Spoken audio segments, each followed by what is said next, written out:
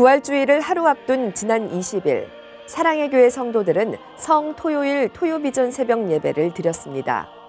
오정현 담임 목사는 예수님이 감당하신 고난의 잔이라는 제목으로 말씀을 전했고 사랑의 교회가 어두운 세상을 밝히는 세상의 빛이 되어 다음 세대와 열방을 향한 빛이 되기를 바라며 일곱 촛대의 불을 밝혔습니다.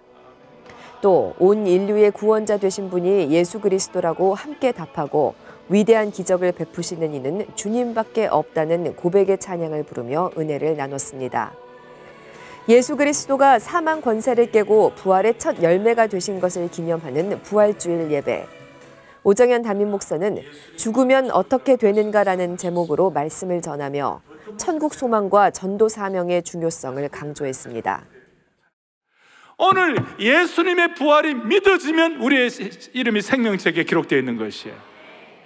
내 죄의 문제는 예수님의 피해 공로, 보혈 외에는 내 죄 문제를 해결할 수 없다고 고백할 수 있으면 우리가 뭐예요? 생명책 이름이 기록된 것이에요. 그리고 오늘 천국과 지옥의 이 내용이 여러분들이 믿어지면 우리의 이름이 생명책에 기록된 것이에요. 설교 말씀 후에는 사랑의 교회 영가족 모두가 예수님의 십자가 사랑을 되새기며 대각성 전도 집회 때 초대할 태신자를 작정하는 시간을 가졌습니다. 그래서 예수님의 부활과 교회의 부활을 함께 제가 맛보면서 너무 기뻤습니다. 오랫동안 품었다가 또 실패했던 태신자 이름도 다시 적고 이전에 대각성에 초대되었다가 결심 못한 이름들 하나하나 적으면서 또 기도드렸습니다. 태신자 작정하면서 부모님 생각이 많이 났습니다.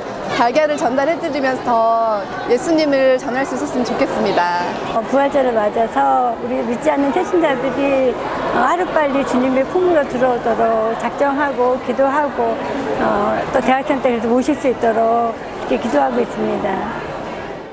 부활하신 주님이 우리에게 주신 지상 명령을 실천하고자 태신자를 품은 사랑의 교회 영가족. 교회의 머리 되신 예수님을 항상 기억하고 언제 어디서나 부활하신 예수님, 살아계신 예수님을 전하는 삶을 살기를 소망합니다.